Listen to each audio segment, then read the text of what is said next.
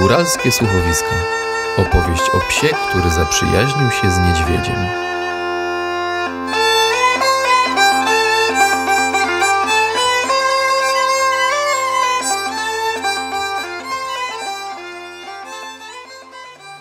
U wylotu drewnianej góralskiej chaty zbudowanej przed laty z jodłowego drewna, na przetartym aż na półokrągło progu, stanął baca Jasiek. Miał to w zwyczaju, iż wstając skoro świt, wychodził jeszcze przed śniadaniem na ganek, ażeby w pierwszych chwilach nowo rozpoczętego dnia doglądnąć, czy wszystko w obejściu jego gazdówki jest zachowane w należytym porządku. Wszak wszystko, na co spoglądał w pierwszych chwilach dnia, było owocem ciężkiej pracy jego dziadków i ojca oraz jego samego. Rześki poranek, chociaż chłodny, wróżył bacy dzień słoneczny i pogodny. Chociaż na szczytach otaczających zamieszkałą przez bacę dolinę bielił się jeszcze mocno twardy, zbity śnieg, to szum potoku płynącego poniżej drewnianego płotu odgradzającego gospodarstwo od lasu oraz rozwijające się pięknie na zielono bukowe listki były dla bacy wyraźnym sygnałem, że zima schodzi do morza, a ciepła, niosąca życiodajne owoce wiosna kroczy nieustępliwie.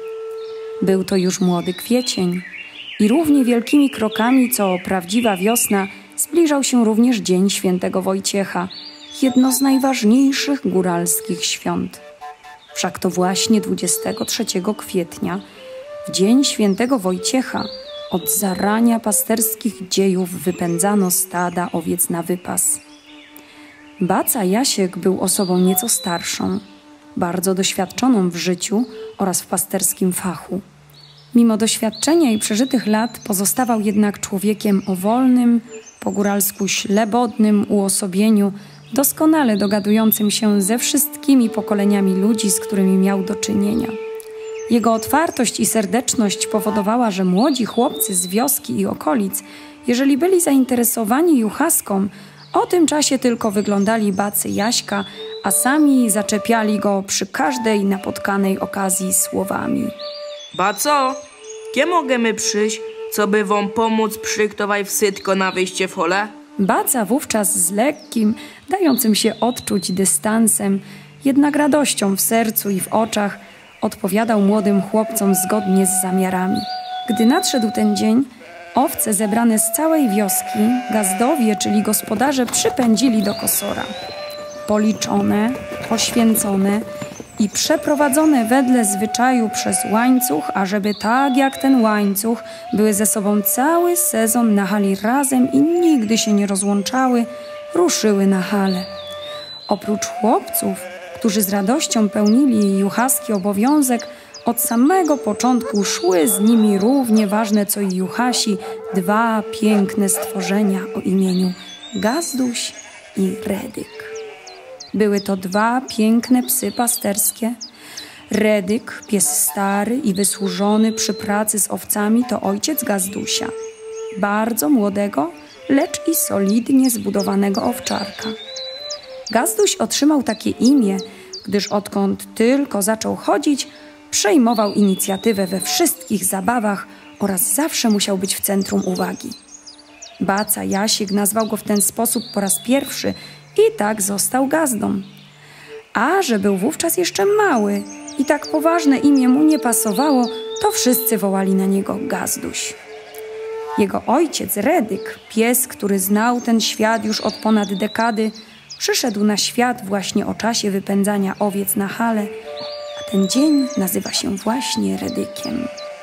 Cała gromada szła wesoło przez wioskę śpiewając i gwiżdżąc, a ciekawy świata i tego, co się wydarzy gazduś, biegł to z przodu, to z tyłu pasterskiej drużyny i owiec, nie mogąc opanować emocji i ciekawości tego wielkiego, pierwszego w jego życiu wydarzenia.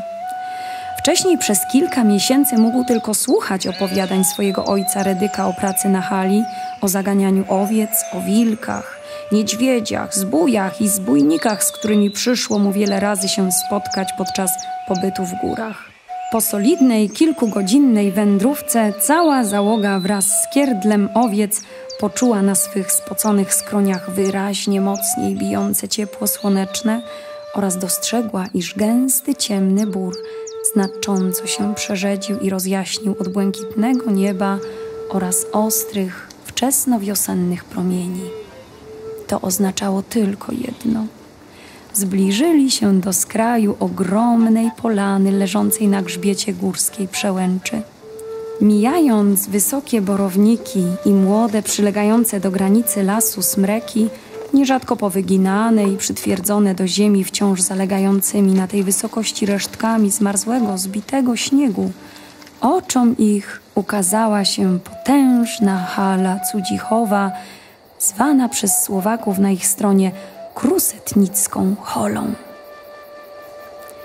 Nie przystając w miejscu, cała drużyna przemierzała halę od kraiska, czyli od skraju hali, stromo w kierunku szałasu, który stał po drugiej stronie. Wrota szałasu skierowane były w kierunku Pilska. Jego tylna część, do której dobudowana, a po góralsku przyceniono była koliba, czyli niewielka budka, która była posłaniem dla juchasów, skierowana była na palenicę. Przez miejscowych górali nazywaną tonecnikiem. Tonecnik swą nazwę zawdzięczał bawiącym się tam hucznie zbójnikom, gdzie wolni od zamkowego oręża mogli tajcowaj i bawić się w najlepsze. Baca, osoba najważniejsza w tym dniu, w tym miejscu, zdjął z głowy kapelusz, rozejrzał się wokoło i z chwilą zadumy, czyniąc znak krzyża, otworzył drzwi bacówki. Wypowiadając po cichu tylko jemu znane formuły, wszedł do środka. Juchasi zapędzili do wcześniej przygotowanego kosora owce, po czym podążyli za bacą Jaśkiem. Pradawnym zwyczajem baca, po wymówionych w ciszy i skupieniu formułach, zajął się rozpalaniem watry, czyli ognia, który wedle obyczaju miał płonąć aż do zakończenia pasterskiej posługi w danym roku. Ustawił zawaternik, kawałek drewnianego pnia, pod nim złożył chrust i podłożył ogień.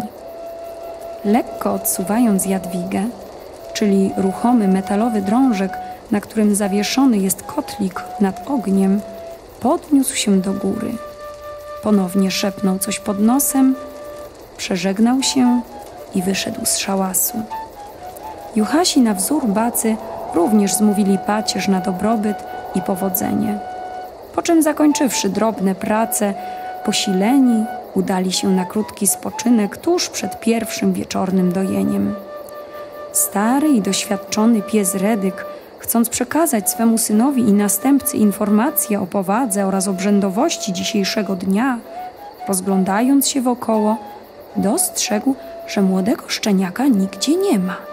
Z lekkim niepokojem szczeknął kilka razy, ale nie tak jak na wilka czy niedźwiedzia, aby nie wprawiać niepotrzebnie w niepokój bacy i juchasów. Na szczeknięcie zareagował szczeniak, który słysząc to pojawił się za kilkanaście minut cały i zdrowy. Nakaześ był! Zapytał stanowczo Redyk Gazdusia. Jeześ tu piersy roz. Potężne lasy i wierchy, które no złotacają są niezmierzone, podstępne i zdradliwe.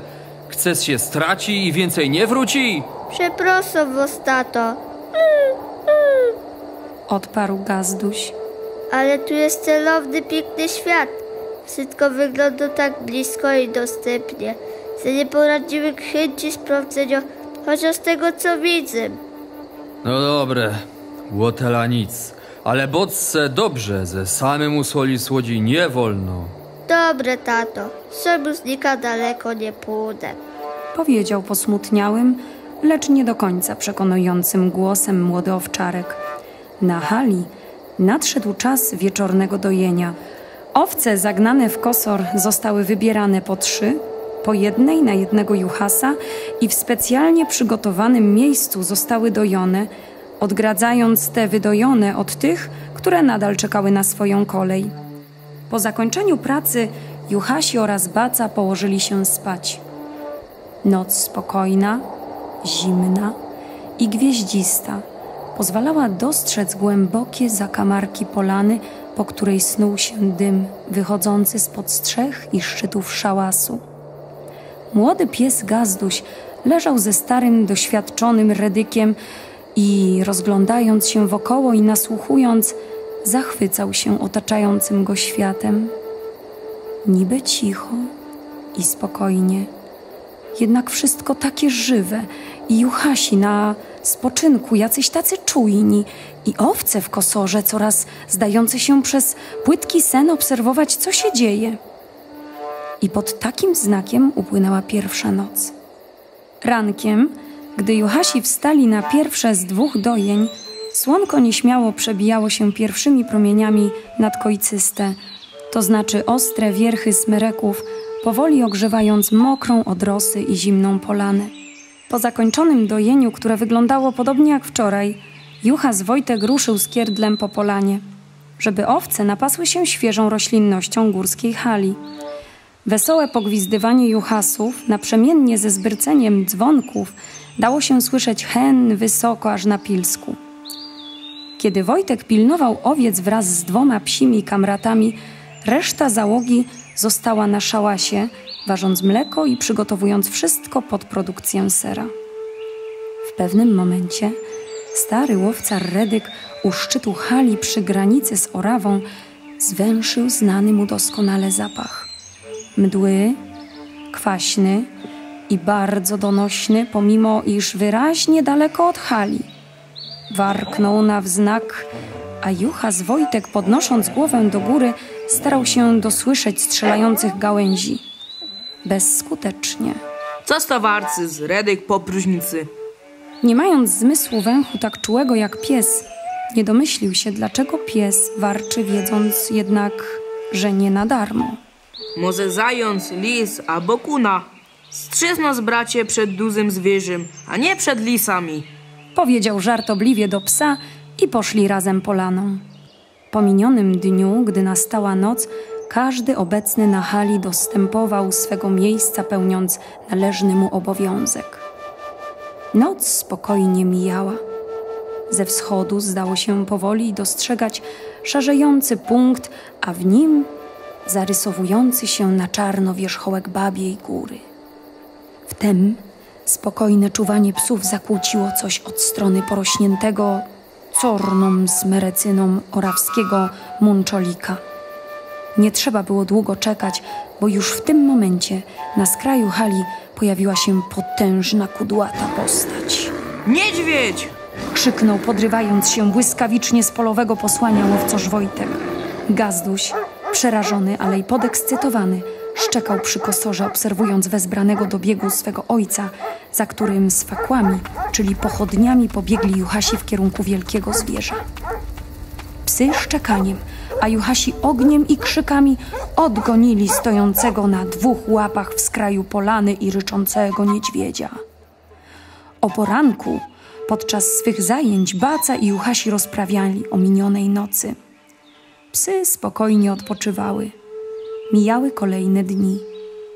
Gazduś, ciekawy świata, coraz śmielej przemierzał pobliskie potoki i lasy, poznając okolice i sprytnie wracając ku hali na czas. Pewnego razu, podczas takiego nie do końca dozwolonego spaceru, zastała go burza. Gazduś, zagubiony wśród ogromnych paproci i jeszcze większych drzew, stracił poczucie orientacji. Wędrując za odzyskaniem drogi powrotnej po słowackiej stronie, wszedłszy między skały, cały czas w dziwnym, niepewnym przekonaniu, natknął się wprost na wielkie, czarne zwierzę. Równie zaskoczony niedźwiedź, podobnie jak ówczesnej nocy na skraju polany, stanął na dwóch łapach i głośno warknął w kierunku młodego owczarka. Gazduś wystraszony powiedział do niego – nie rób sobie nic złego.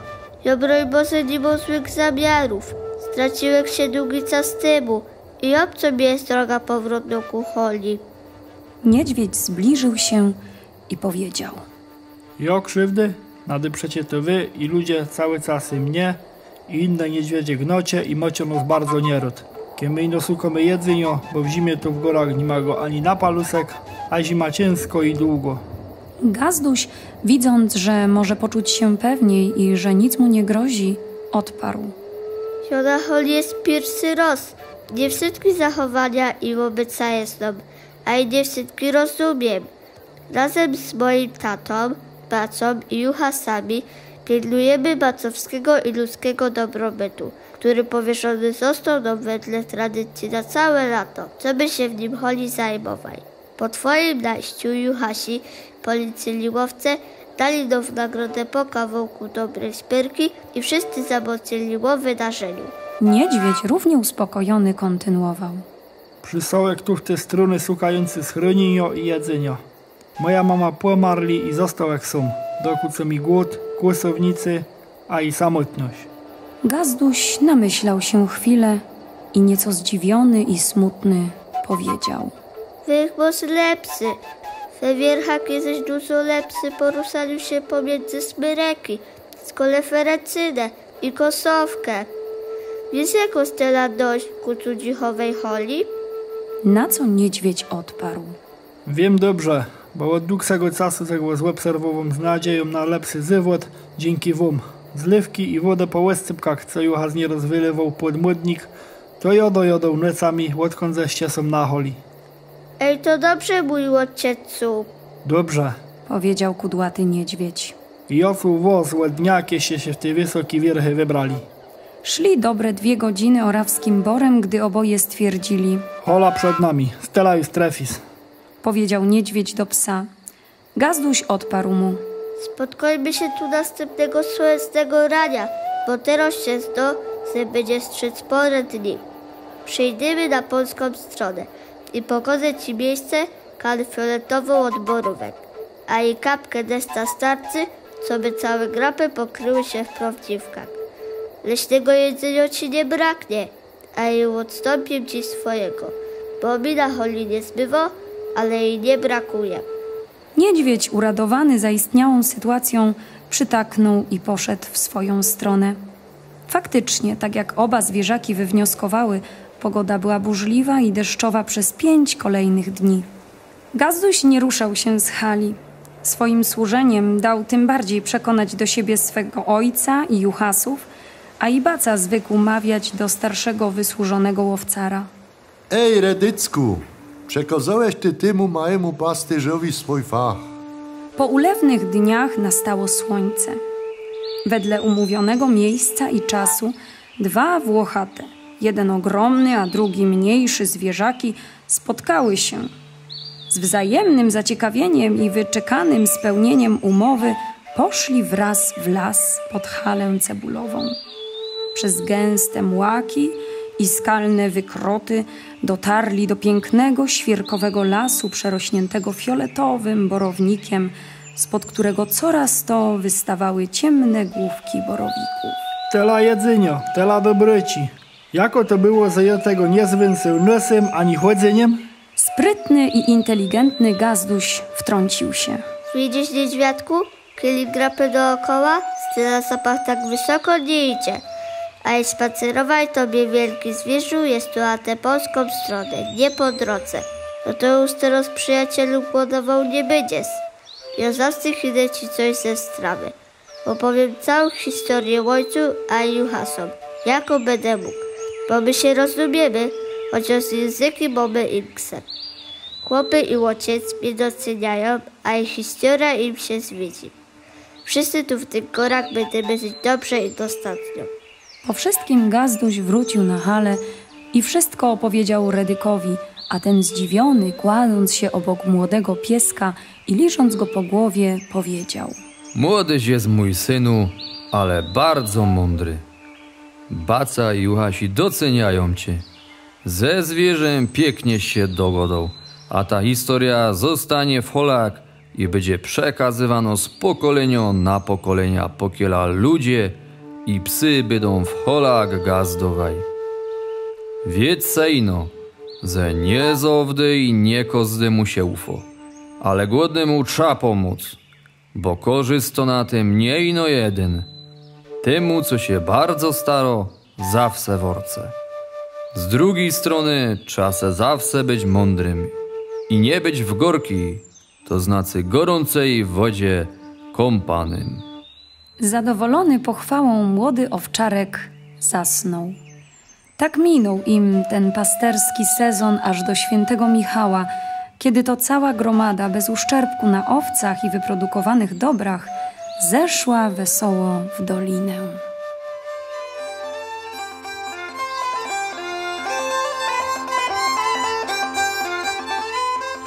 Góralskie słuchowiska. Opowieść o psie, który zaprzyjaźnił się z niedźwiedziem.